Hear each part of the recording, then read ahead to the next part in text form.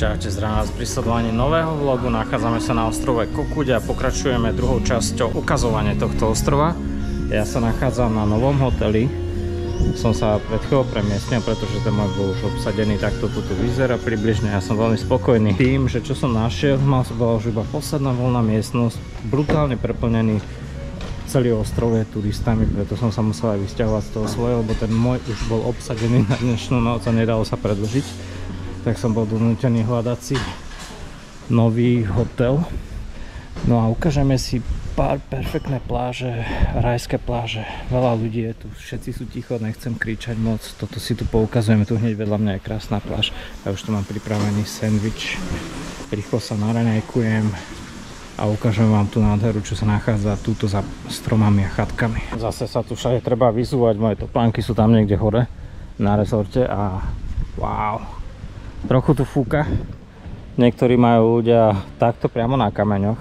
Tu som objavil schodíky drevené, len vyzerajú dosť pochybne a keď to spadne, tak neviem, toto už bude dosť boleť. Vyskúšame to. Hop, toto je ešte ok, ale toto ďalej už sa bojím ísť. Hlavne s mojou váhou. Wow. No a tam vzadu máme výhľad. Tam ideme na tú pláž. Vyššie už nejdem, tu sa fakt bojím, že sa to prepadne. Takýto krásny výhľad je. Čiže aby som to mal zhodnotiť, toto je krásny dovolenkový ostrov, nečakajte tu nejaký bujarý život alebo niečo. Ale ak si chcete brutálne oddychnúť, toto je presne ten ostrov, ktorý hľadať. Tento rezort je dosť zvláštny, lebo je taký skombinovaný e, s prírodou. Drevené chodníčky, skaly, tu máte nejaký rybník s rybami, trošku špinavý. A takto sa volá môj rezort. Stal 43 eur. Úplne posledná izba, ja som niekde úplne tam hore pri nejakom rybníku. Môžem vám to ukázať. Pozrite, človek, sa ísť do svojej izby, musí ísť vlastne drevenou, dreveným chodníkom cez skaly. Wow, toto je krásna pláž. Nádherné pláže. Čo, ideme ešte tuto hore vybehnúť? Po skale? Používam novú kameru, tak uh, dúfam, že budú dobré nastavenia. Tuto keby som padol dopredu, možno to aj prežijem. By som sa snažil skočiť čo najďalej. A ideme rýchlo si ešte ukázať trošku to je pláž, lebo bude tých pláží veľa. A aby ste mali prehľad, aby sme to zbytočne nenaťahovali. Molo, tam som ešte nebol. Ja som na tomto rezorte asi iba hodinku pol hodinku tam a niekto zletuje tam na tom domčeku a mne sa páči tento drevený chodník cez skaly na pobreží, na piesočnatú pláž. Tam mám bazén, tak poďme postupne tým smerom. Ešte raz tieto skaly. Je šialené, je ako niekoho napadlo tu proste vybudovať rezort. Ono to patrí medzi také najlacnejšie rezorty, tento môj, ktorý bol ešte voľný. Fakt asi 60-70% rezortov je úplne vypredaných. Páči sa mi tu ako. A táto pláž neskutočná, malička. Tu sa mi páči tento domček, ako to majú urobené chodník nielenže s výhľadom na more, na pláž, ale majú hneď vedľa svojho domčeka aj bazén, ktorý môžem využiť aj ja.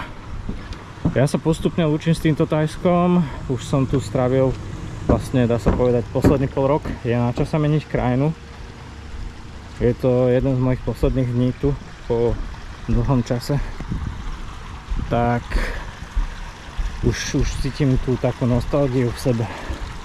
Hlavne veľa ve rôznych vecí, ktoré sú tu a takmer nikde inde na svete. To mi bude chýbať no. ale snáď zase niekedy o pár mesiacov sa sem vrátime. No a tieto chodníky som si teraz uvedomil, že na moju chatku sa dá zrejme dostať aj touto spodnou časťou. Tu je ten rybník ktorý pokračuje až tam ďalej do, dozadu. A úplne jedna z posledných chatiek pri tom rybníku je moja. A ja som väčšinou sa predieral tuto cez tie kamene, cez trávu ale vidím, že sa dá predierať dolnou cestou cez takýto chodníček. A nádherná pláž. Je zhruba hodina 30 po obede. Máme čo robiť, aby sme všetko stihli do nejakej 5. 6. po obede. A ďalší verandový domček budem dávať postupne, ak sa budem premiesňovať po celom ostrove takú mapku. Budete môcť sledovať, kde sa postupne na tomto ostrove nachádzam. To sú nejakí ľudia, ktorí sa tu opalujú. Krásna pláž. A vyzerá to, že to je taký väčší rezort. Pokosená tráva, množstvo domčekov. Zaujímavé je, že každý vyzerá úplne inak, pomaly mám pocit. Tam niekde vzadu, neviem či to bude vidieť, je moja izba. Toto sú tie katalógové obrázky a hlavne tá farba mora. Začínam byť presvedčený, že Kokut má najkrajšie pláže ako v Tajsku. Nielenže najkrajšie, ale ich je strašne veľa. Zatiaľ neviem, asi 30 pláží môže, môže tu dokonca byť. Wow, a toto sú nádherné scenérie.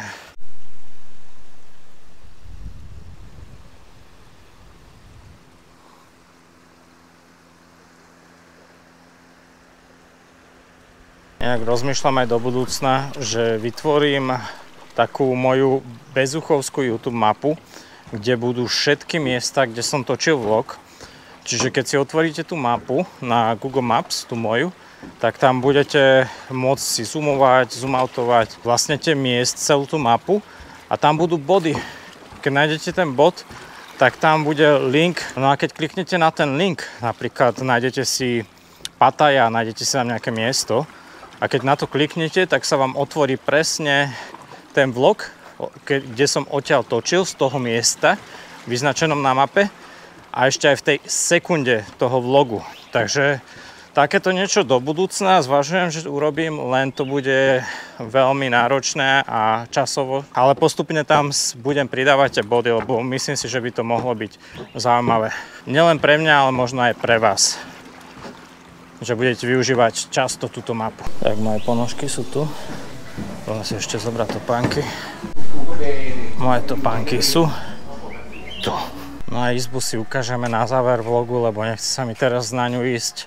Všetko som tam zaťahol, zámkol, tak si to pozrieme na záver vlogu. Koho zaujíma, ako vyzerá izba pri Močiari na konci rezortu. Ja sa dám na skúter a ideme na druhú pláž a to by mala byť tá najznámejšia vôbec na celom ostrove. Poďme si ju pozrieť. To je tá pláž, kde sme včera skončili vlog. A tu niekde by mal byť môj skúter. Medzi týmito. O tom, ak je populárna táto pláž, svedčí aj veľký počet skútrov, ktoré sú tu odparkované. Bolo tu trochu problém nájsť miesto na skutre. Mal by tu byť jeden taký hlavný rezort a viacej takých vedľajších. Som ochotný si tu dať aj kávičku a trochu viac času stráviť na tomto mieste. A potom tie ďalšie pláže zase bude taká séria, ktoré si tak rýchlo preskočíme.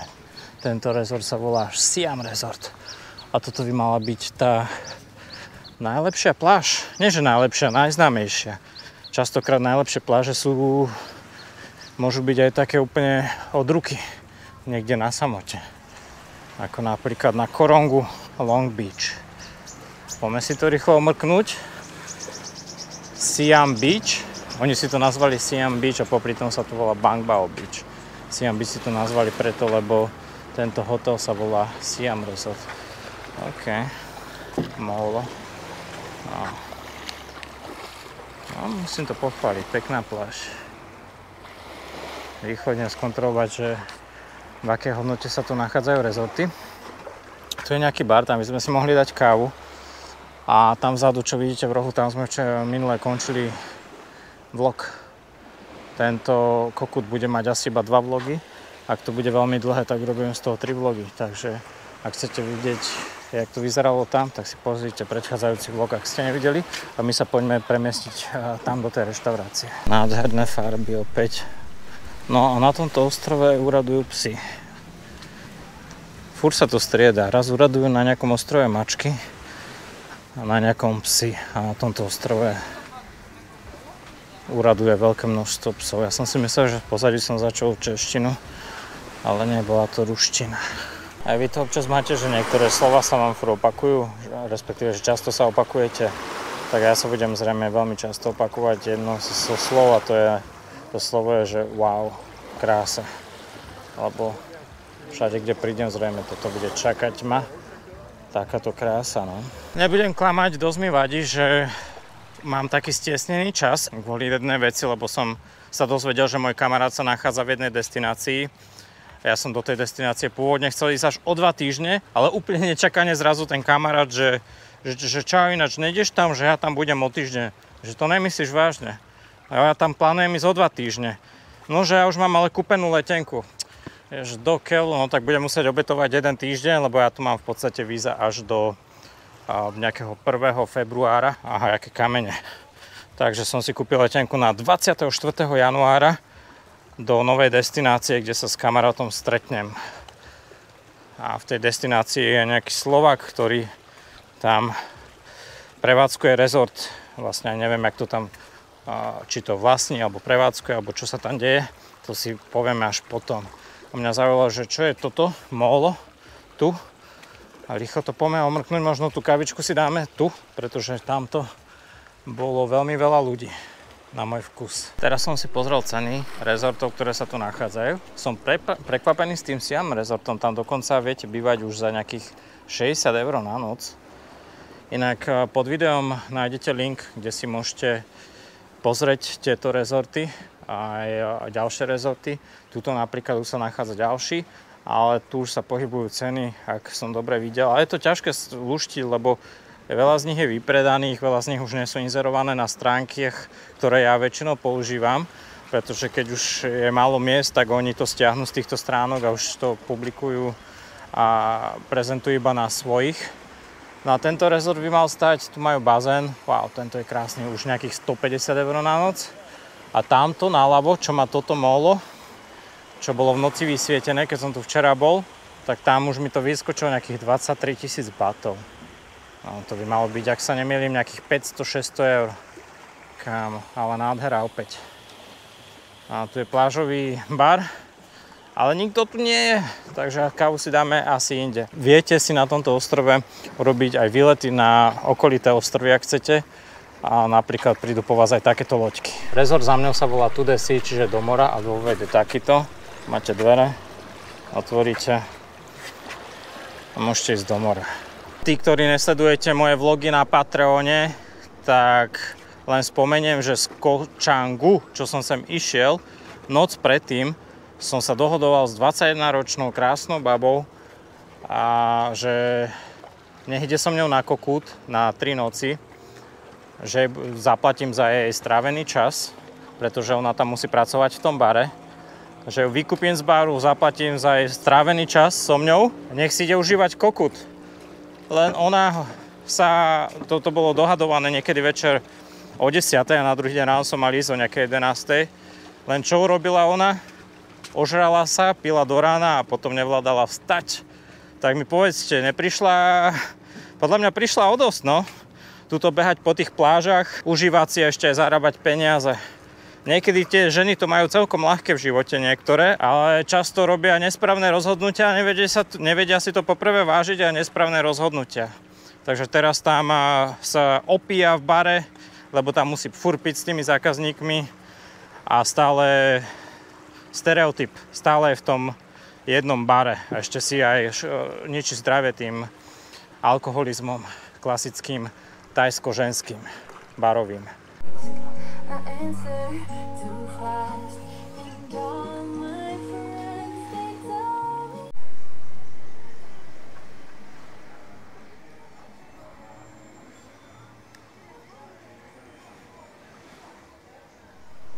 Som na nejakom novom hoteli, tu by mala byť pláž. Aha, ok. Taká, ktorá vlastne ako keby patrila k tomuto hotelu. Tak poďme sa pozrieť. Toto je hlavná časť toho hotela, ale pozerám, že sú tu aj vily k dispozícii na prenájom a dokonca aj vily s vlastným bazénom. Tu vidíte bazén, niekto tam má úplne dokola presklenenú vilu. Len ten výhľad nič moc, alebo tu zrejme ešte lepšie vily. Tento hotel sa mi zdá, že by mal byť celkom pricey, čiže a drahší. Pozerala tam po mne jedna ženská na recepcii, ale nevybehla za mňou a zatiaľ som tu nevidel žiadnych securityakov. Tam dole už by mala byť pláž, tak som veľmi zvedavý, ako bude vyzerať. A tu sa dostávame k tým asi najdrahším vilám, lebo táto okrem toho, že má bazén, má aj pekný výhľad na more. Len toto Není moc verejná pláž, je to skôr taká hotelová, že je to také obťažnejšie dostať sa. Vyzerá, že tu nie je veľa hostí, čo je dosť prekvapivé.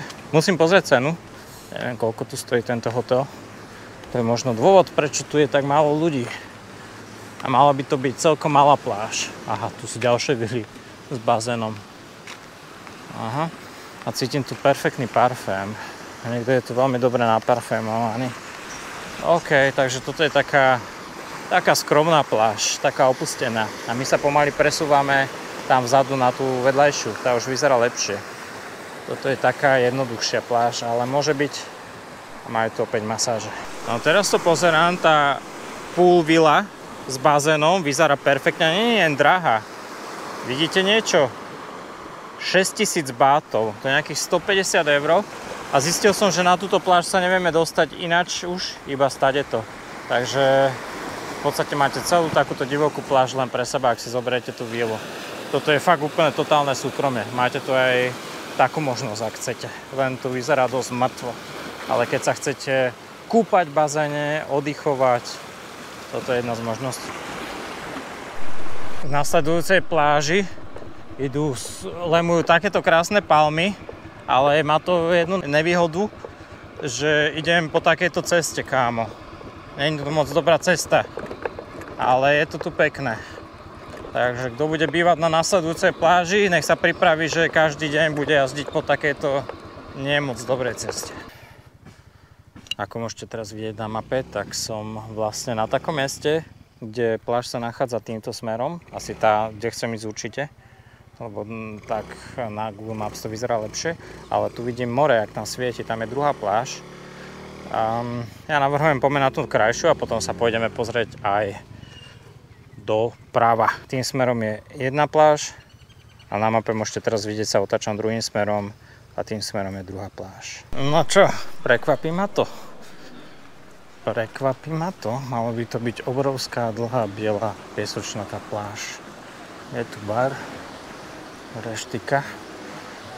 A sú tu dve pláže. Tam vzadu môžete vidieť jednu a tu je druhú. Wow.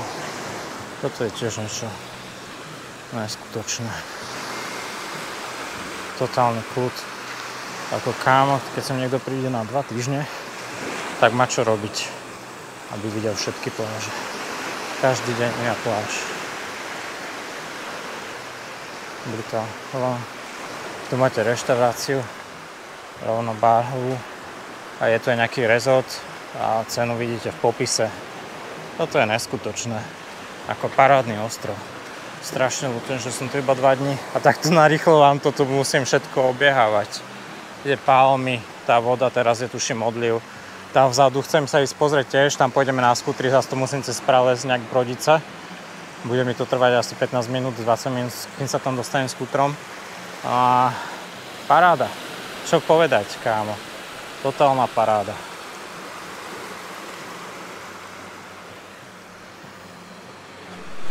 Už teraz vám z istotou môžem povedať, že Kokut je lepší ostrov, krajší ostrov ako Kočang a to Kočang nie je vôbec zlý. A myslím si, že Kokut je asi aj najkrajší ostrov zatiaľ, čo som v Tajsku videl. Jediná vec, čo mi tu chýba trochu, je taký ten nočný život. Toto ešte keby urobili, aspoň na nejakých jednom mieste, hej, že tam dajú bar, bar, bar, bude to perfektné. Tu neviem, čo sa stáva, možno ďalšie chatky, alebo čo. A my sa premiesňujeme z jednej pláže, ktorú vidíte tu, a ideme na pláž, ktorá sa nachádza presne tam. Tu. No, stáva sa tu buď nadstavba rezortu, vidíte, ak to tu už majú architekti to tu povyznačovali páskami, kde čo bude, kde aká chajda, zrejme. Tu na druhej strane lagúna. Wow, ale stojatá voda, čo ja viem, ja mám z tých stojatých vod také nevždy dobré pocity. Ale parádna lagúna medzi palmami. Ja toto musím obchádzať, túto budúcu chatovú oblasť rezortovú. Poďme ešte pozrieť na chvíľu tú lagúnu. Lagúna s morskou vodou vyzerá nasledovne. Nevyzerá to zle. Je to neuveriteľné a teraz, jak som išiel z tej lagúny, toto, toto prosím pekne veľké, tu padlo z hora. Akože vidieť, že to už je odumreté, ale konkrétne teraz to padlo. Fú, toto keby mi malo padnúť na hlavu, hlavne henta časť, tak to by bola... Nebolo by, že štatistika umrtí kokosovým orechom, alebo štatistika umrtím palmovými listami. A bezuch by tam bol ako číslo 1. Poďme už na tú pláž konečne. O tejto pláže nemal som moc veľké očakávania. A čo ja viem, ako no... Nie to boh vie čo. Možno keby som to videl pred ako prvú pláž, tak by som povedal, že o, fajn, aké to tu dobre vyzerá. Ale potom, čo som to teraz videl, už je to taká podpriemerná pláž, čo sa týka tohto ostrova. Nájdem hľadať cestu, východ, ako prejsť tam, budem mať problém s tým stromom. No a na to, aby som vám priamo na Slovensko do Čech doručil najlepšie videá a videozáznamy, tak musím zdolávať takéto prekážky. OK, není to zlé, ako vyzerá to tu jak v raji. Je to tu také stiesnené a není to tu taký čistý piesok. Sú tu kamene, palmy mi tu idú do hlavy. Ej. A tam ďalej už zrejme ani nemám kade prejsť. Takže to je ďalší problém. V každom prípade ja sa dám na skúter. Skúsme tady to ísť. Áno, tu je cestička. Ja sa dám na skuter a my sa presúvame na tú ľavobokú pláž, ktorú som vám pred chvíľou ukazoval. A tu už je nejaký opäť luxusný rezort a cenu a názov nájdete nielen pod videom, ale aj dole vo videu teraz na obrazovke. Jako ja sa tu cítim veľmi čudne, lebo chodím tu po rajských plážach a nemám čas na to, aby som sa okúpal, ak to chcem všetko pobehať. V podstate som v tej situácii, že chcete si líznuť, ale nemôžete. Chcete sa toho dotknúť, ale nedá sa. Chcete si zaplávať, ale není čas. Sadáme na skuter, pokračujeme v ceste.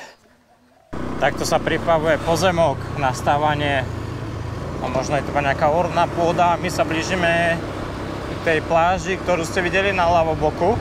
Chcel som vám to trošku aj z motorky ukázať pár záberov. Kaviaren na ľavoboku, psíček, toto čo je za strom? Kámo, jaký vyčnevajúci strom. Aha, rozbité auto. No a o chvíľu sme pri pláži. Sme asi tak 100 metrov od nej. Ako ja som chcel točiť iba pláže, ale aj tá scenéria, okolo ktorej, cez ktorú prechádzam k tým plážam, je šialená. Šialené to je máme nejaký homestay, kokut, walk-in, takže aj tu sa môžete ubytovať, pekne pokesená tráva. Cenu dávam samozrejme do popisu. A tie palmy šialené. Krásny ostrov. Veľmi, veľmi som nasraný, že musím odísť. Ja v podstate sa premiestňujem do ďalšej takej rajskej krajiny o pár dní. Nie, že krajiny, štátu. Štátu aj krajiny čo je ikonická, brutálne ikonická, čo sa týka t- dovoleniek. Asi jedno z najikonickejších miest na dovolenky na svete. Neviem no, že či to bude silno konkurovať tomuto, alebo to bude testné. A vy mi dajte vedieť a možno je vhodný čas aj na spustenie ankety. Že kam podľa vás sa chystám. Anketu nájdete na mojom YouTube kanáli medzi novinkami. A tam vám dám 5 krajín na výber. Idem premysleť si, ktoré.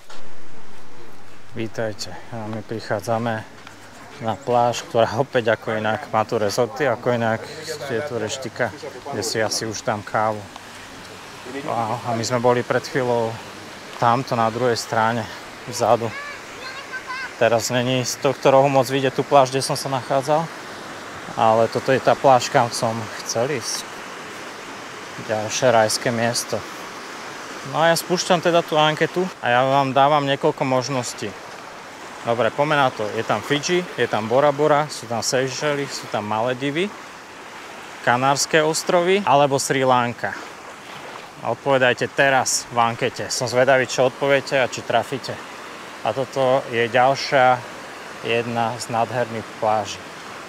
A toľko stojí tento tu rezort a ako sa volá, nájdete v popise videa, ale aj teraz dole na videu a tam vidím, že sa nachádza ďalší bar. Wow, nádhera, kámo. Ja som si myslel, že tento ostrov je maličký, že to bude fakt veľmi rýchlo prejdené. Ale tu kľudne môžete zabiť 3 týždne na tomto ostrove a stále budete mať čo objavovať. Furt nová pláž, furt nové zážitky. A ten skúter je paráda, tu jazdiť na skútri po tej prírode. Tu predo mňou je rozkopaná stena a sú tu také, také, jak by som to povedal, welcome palmy, ktoré keď vás nemajú radi, tak vám padnú na hlavu a zabijú vás, keď vám zakážu vstup. Ako napríklad táto. Wow. Tieto veľkom palmy sú otočené nesprávnym smerom tie naľavo. Ale tie za mňou, keď som prichádzal, bolo to zaujímavé sa na to pozerať. Ďalšia veľkom palma. Za mňou raj, predo mňou raj. A my sme sa práve dostali na najjužnejšiu pláž celého ostrova, ktorá je dostupná cestou. A nie je to úplne to posledné miesto, čo sa týka toho juho, pôjdem ešte juhovýchodnejšie trochu. Tam eh, by mala byť taká menšia rybárska dedina alebo pár domčekov, to si ešte pozrieme a potom sa otáčame a ideme na sever. Zase začíname boj so slnkom a západom slnka, pretože wow, pretože o 2,5 hodiny bude zapadať slnko. Šialená dlhá pláž. A tuto tie cesty a sú strašne malo rozvinuté na túto poslednú posledné miesto, ako som išiel. Asi posledný kilometr. A vidíte, že není tam vidieť ani moc veľa rezortov a je tam taká bujná zeleň, divočina. Vzadu. Kokos, nádhera. No. Som veľmi spokojný s týmto miestom. A ja rozmýšľam, kde si dám kávu. Či tu, alebo si to dáme na inom mieste. A ja to vidím, že sa ideme ponáhľať. Keď nabereme nejaký čas, tak potom si dáme kávu a budeme odpočívať. Nemajú tu ani bazén, nič. Je to tu taký zapadákov raj, táto najjužnejšia pláž. Ale stojí to za to pozrieť sa sem. Tu za mňou sa práve robí cesta, tu predo mňou už je cesta urobená. Ale mňa zaujalo toto, tieto domčeky tu, pekné. Čo to je? To je resort? Ale niečo asi na, na bývanie ale úplne najviac ma zaujal tento modrý dom. Kámo, to, to tu vyzerá brutálne a ten človek sa o to stará. Všimajte na to. Ten ma zaujal, keď som sem išiel. Nádhera. Brána vylemovaná kvetinami, ktoré tu rastú. Hente asi z hora rastú? Neviem, podľa mňa ne, to sú asi umelé. Ale ten krásny dom, dobre si to tu zariadil chalán. Vyzerá, ten dom vyzerá z rozprávky. Ešte toto trošku by tu mohlo vysekať. Wow, počkaj, poďme dopredu, aby to bolo vidieť z tejto strany. Úplne rozprávkový domček v rajskej prírode. Nedaleko pláže, kde sme teraz boli. Ak si pozriete mapu, tak cesta smerom na juh končí na juhovýchode v takej, dá sa povedať, rybárskej dedine. A ja už som blízko nej, tá rybárska dedina sa nachádza priamo tam dole podo mňou. Tam ideme. Pozrieme, čo tam je a pôjdeme rýchlo smerom na sever, objavovať pláži smerom na sever. Toto je cesta, po ktorej som prišiel. Tuto cesta končí, čiže už ďalej sa nedá ísť. Tu je spiaca Blchavica, tu je ďalší blchač a tu je rybárska dedina na vode. Tak poďme si ju obhľadnúť. Ona je docela veľká, preto som si hneď všimol aj billboard nejakého miestneho politika, ktorý bol priamo pred dedinou. Není tu veľa turistov. Ináč na celom ostrove není veľa turistov, akože žiadne zápchy, nič. Ale takmer všetky preplnené hotely, čiže ďalšia vec, čo je výhoda oproti napríklad ostrovu Koh Samui, okrem toho, že tento ostrov je krajší ako Koh Samui Trebars, tak je to, že tu to není preľudnené. Nie sú tu zápchy a cítite sa, cítite sa tu tak viac jedinečnejšie. To je nejaká asi najpopulárnejšia reštaurácia a cesta cez celú dedinu rybárskej siete, klasika. Tieto rybárske dediny sa väčšinou potom neskôr transformujú do turistických dedín. No, opäť ďalšia reštaurácia na druhej strane.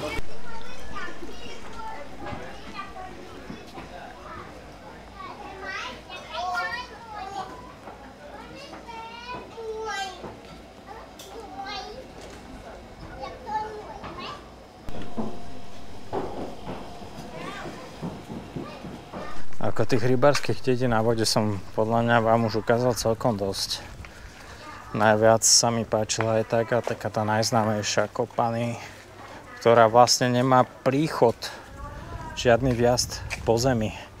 Ona len tak v delte rieky, ktorá prúdi z mora od toho James Bond Islandu, tak je položená tam v takej pličine, presne ako táto rybárska dedina, len táto rybárska dedina má výhodu, že nemôžete, nemôžete prísť autom po brehu. Ďalšiu takú rybárskú dedinu, ktorú si ukážeme, sa nachádza práve úplne na opačnom konci a to na severe odkiaľ budem zajtra odplavovať. Čiže dneska už asi ten sever si ne, úplne neukážeme, teda tú poslednú rybárskú dedinu. Ale tu vám vložím nakoniec tie klipy, to bude presne tesne pred, pred tým, ako budem zajtra odchádzať, aby som tam nemusel ísť e, dneska aj zajtra, ale chcem ísť ukázať čo najviac pláži smerom na sever, ešte v tomto vlogu, ak sa to podarí. No a tá dedina úplne na severe sa volá, že AO Salát, čiže šalát. Tu sa e, pripravuje rybárske siete asi na noc. Predsa len tie vody sú dosť teplé počas dňa a tým rybám sa moc nechce ísť do toho tepla, tak sa udržiavajú nižšie a zrejme v noci idú hlbšie. No a tu už bude druhý koniec z rybárskej dedine, rýchlo tam prejdeme, urobíme pár záberov a poďme na sever. Tento vlog sa neuveriteľne naťahuje. Tu predo mňou sa nachádza posledný domček nejakého človeka, ktorý tu žije, zrejme s rodinou.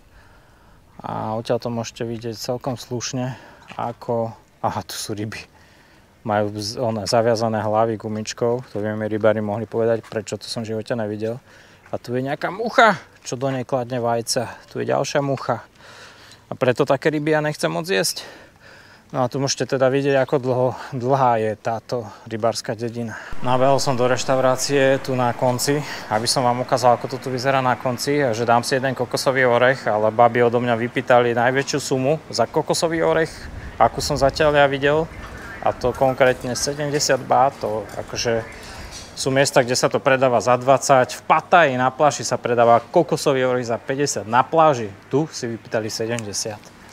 No ale aspoň vidíte záver tejto dediny, ja si dám pár vitamínov, vitaminovej vody a opúšťame túto rybárskú dedinu, ale ešte predtým, ako si dáme kokosový orech a opustíme dedinu, si urobíme taký selfie obrázok v tejto sedačke. Nespadne to, keď si na to sadnem? Oh, wow. Tuto na vode. OK, no, za, toto, za tento obrázok dám im tých 70 bátov.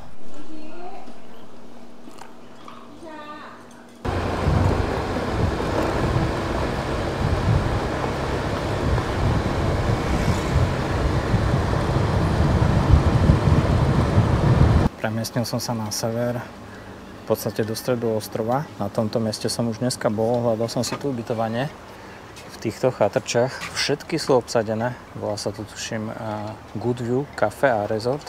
To znamená, že dobrý výhľad. A majú pravdu, ako ten výhľad nie je zlý. Keď sa pozriete na jednu stranu, tu je západ slnka, ale aj na druhú stranu a tam vidíte veľmi krásnu pláž ktorú vám trochu aj o chvíľu približím. A ja som sa tu musel teraz zastaviť, lebo už potrebujem pamäťovú kartu v kamere hodiť do počítača a vyprázdniť si ju, predtým ako pôjdeme na posledné 4 pláže. Nachádzame sa na ďalšej pláži, za mňou môžete vidieť tiktokerku, zrejme korejskú alebo tajsku, kto vie. Ten sa pekne rozbehol. To je molo a prístav, no toto je plá, tá pláž, ktorú som chcel vidieť. OK, neviem, či sa mi chce ísť bližšie. Kamenistá, piesková, tiež rezorty. Ale ani tuto to není až také zlé. No a ja by som chcel ešte si pozrieť tri pláže, tuto ďalej. A mali by sme skončiť na jednom z najdrahších rezortov a mne sa zdá dokonca, že to je najdrahší rezort. Ja neviem, či hento je Nie, to nie je na prepravu aut, len on si idú niečo tam previesť, no. Preto tam už druhé auto išlo pomaly. Takže toto je pláž, ktorú vidíte práve v titulku, lebo ja si nepamätám, ako sa volá. Slnko už pomaly zapadá, my sme sa presunuli na Suania Beach Resort, noc to stojí 80 eur a majú tu takú menšiu pláž, tu si ideme teraz ukázať a hneď vedľa ešte jedna. Tak asi možno aj tam skočíme. No, no je to tu vlastne taká totálne malá mikropláž. Hej. Dlhá asi 50 metrov. Už tu je také slabšie to svetlo, keď to slnko zapadá, čo je škoda. Ja som si potreboval dneska pospať, lebo ja mám problém s tým svojím biorytmom. Keď sa mi to nastaví tak, že sa mi každý deň ráno o 10 chce spať a v noci byť hore, tak to je katastrofa. No ja začínam byť docela unavený aj z toho skutrovania a z tohto brodenia sa po všelijakých takýchto miestach. Toto vyzerá na ten kokut Beach Resort. No, ale tu som čakal, že oni majú piesočnatú pláž, aspoň tak podľa mapy to vyzeralo, ale toto je asi ono všetko, čo tu majú. No, ako chcel by to aspoň trošku piesku, čo ja viem.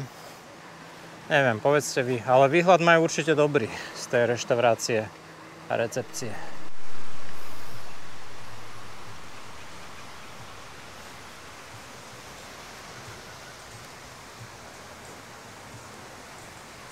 No oba tie rezorty, aj ten nápravo, čo, v ktorom sme teraz boli, aj tento tu, sú trojhviezdičkové, len tento je výrazne drahší.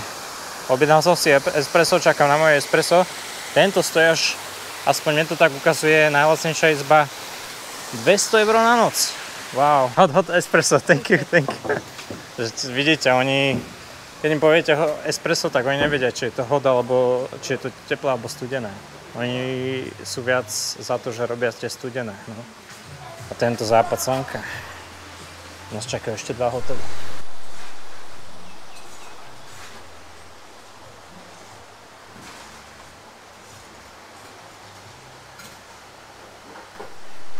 Tak prišiel som do Soneva Kiri Resort a tu nie je len jeden resort, tu je viacej, aj reštaurácia a pozrite, čo je predo mňou.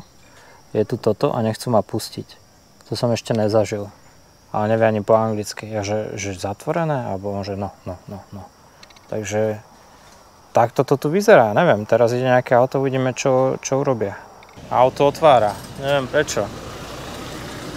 Nič, musím zavolať uh, niekoho iného. Zavolal som manažerovi cez tohto vrátnika, ten vedel po anglicky a povedal mi, že ak chcem ísť do hotela alebo do reštaurácie, tak sa musím objednať dopredu čo je dosť čudné, lebo on ani nevie, že či mám nejakú rezerváciu alebo nemám. Ne, on nevie, kto som, no ale často to hovoria na tých eh, luxusných miestach, keď sa im nejak nepozdávate, že nemáte dobrý dress code alebo niečo. A noc tu stojí najlacnejšia izba 1200 eur, ale je to celé podozrivé miesto, lebo tam sú tuším až dva rezorty alebo tri, plus je tam nejaká ešte pomimo reštaurácia a oni, že súkromný pozemok. Neviem, co je to podozrivé. No a keď vám ukážem, po akej ceste sa tu ide, respektíve moste do 5-hviezdičkového hotela, to je ďalšie také podozrivé. Ja mám pocit, ako keby, ja neviem, či sa tu dejú nejaké nekalé veci alebo čo, ale nechápem to, hej. Závora a ani sa vás nepýta, že čo chceš, on povie, že no, no, no, no, Nepo, nemôžeš donútra. On ani nevedel, ne, mňa sa aj nepýtal, či mám rezerváciu. Celé to podľa mňa veľmi, veľmi pofidérne. Nevadí. A ideme do posledného rezortu, ktorý som chcel preskočiť, ale je tu hneď. Dúfam, že tam budú mať dobrý internet, lebo tam chcem uploadovať nejaké vlogy a ten by mal byť kúsok odtiaľto. Na, možno stihneme aj západ slnka a ukážem vám ten most do 5 hviezdičkového hotela, tam není iná cesta. Ten bude o chvíľu tu. To ja som myslel, že, že to srandujú. Ale ten ukážeme až neskôr, lebo tu je ten náhradný rezort, ktorý som chcel preskočiť. Secret. Secret Resort, bar. Tak poďme do baru. Ó, tento má pekný bazén. A pieskovou cestou. Fú, tá cesta do baru nevyzerá moc lákavo. Táto cesta vyzerá lepšie cez rezort. Som zvedavý, kam ma to privedie. A ja už len doplňam, že toto bude no, Bohužiaľ neuvidíme ten západ slnka nad morom, lebo akurát tu je útes, na ktorom tam niekde je ten 5 hviezdičkový hotel. Nevadí, ukážeme si aspoň túto poslednú pláž a na záver vlogu, a ten už dotočíme zajtra, si pozrieme ten prístav s tou najväčšou rybárskou dedinou tu. No a hľadám, kde je bar.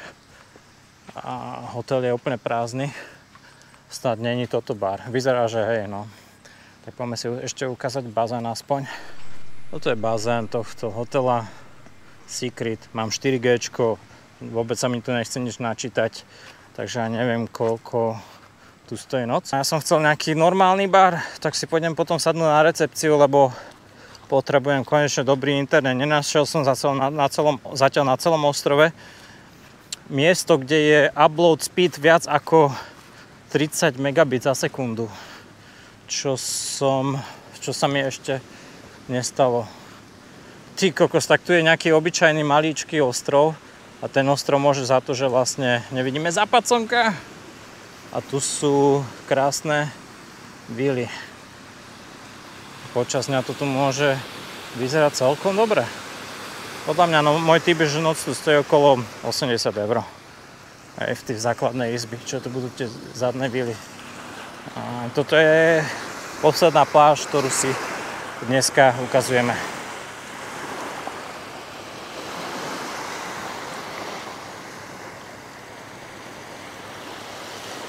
Kámo, toto je ten uh, most. Yeah, you can go. Huh? I make video, make video. You go, go. A typek stojí za mňou. A ja tu chcem iba kamerovať. Ale asi to není vidieť, lebo už sa zotmelo.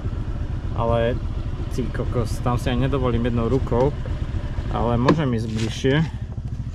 Ale nechcem zapnuté svetla, snáď mi neukradne. Kámo, takýto most a on zastavil tiež po tomto moste sa chodí do 5 hviezdičkového hotela a to nevymyslíš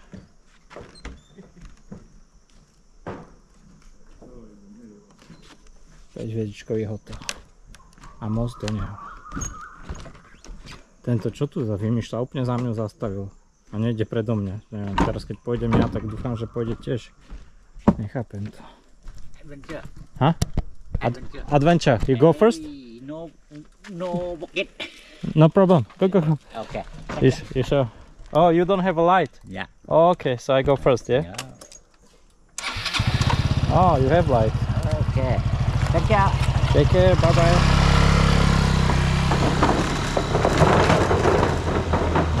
pocit, že je pod parou. Iba hauzak, keď padol to, do tej rieky. Je ráno, ja som vám slúbil, že vám ukážem izbu za 43 eur s raňajkami. To je tá úplne posledná izba, čo tu mali voľnú. Nachádza sa na konci rezorta. Takúto verandu tu mám. A som hneď pri rybníku alebo lagúne alebo čo to vlastne je a o chvíľu odchádzam z ostrova Kokut na sever. Dorazili sme úplne hore do rybarskej dediny Ausalat, odkiaľ pôjde loďka. Môžete vidieť, že ďalej už nič nie je. A tu sa ideme naloďovať do niektorej lodi. Ale konečne pôjdeme tými malými speedboatami, kde mi je non-stop zle. A tu vyzerá, že toto by mohli byť humané podmienky lebo som nevyspatý, neudel som zaspať. Toto je moja muka, ja neviem proste zaspať na povel. A keď nezaspím, tak som v ríti. No, som sa zobudil o druhej v noci a odtedy som hore. Teraz ma čaká 7 hodín cesty, kde sa nedá spať, takže... A ešte ma vytriasol taxi, ktorý išiel cez celý ostrov, ktorý nás sem donesol a mi akože dosť zle. Tak som rád, že sa mi uklonil žalúdok aspoň na tej lodi. odo mňa to bolo na ne všetko. My sa vidíme v ďalšom vlogu. Majte sa, čaute.